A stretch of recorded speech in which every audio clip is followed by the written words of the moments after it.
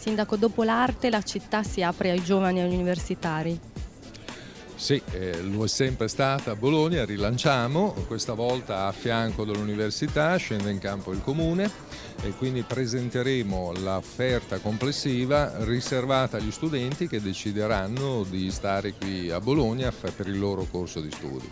Dagli sconti su tutti i servizi ai luoghi possono, eh, ai quali possono accedere, alle attività che sono a disposizione dei giovani studenti che verranno a Bologna. Ecco, noi vogliamo sempre più costruire insieme all'università una rete vera di accoglienza, quindi informare su tutte le opportunità che questa città è in grado di dare ai giovani e nello stesso tempo creare un percorso di inserimento. Bologna Fiera si apre agli universitari con anche spettacoli non solo informativi ma anche di entertainment.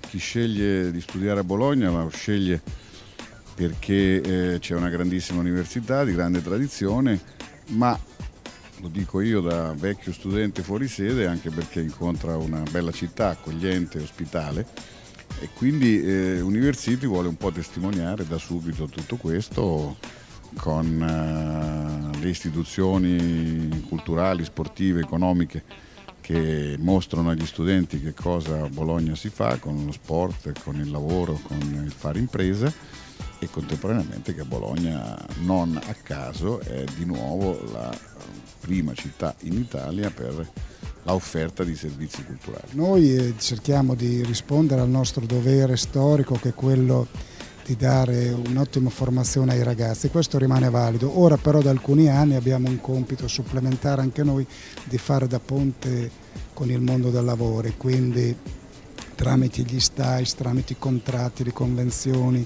i legami con la città, con tutti. Ormai è arrivato il momento in cui nessuno può operare più da solo. L'università è da anni che su questa strada, ora lo sentiamo ancora di più, che uno non può solo pensare alla ricerca e alla didattica, ma deve pensare anche al dopo per questi ragazzi. È anche una soddisfazione nostra. Vedere poi che quando vanno fuori all'estero sono i migliori, piange il cuore perché questo paese li forma, contribuente paga e poi chiavi in mano li regaliamo allo straniero, non va bene.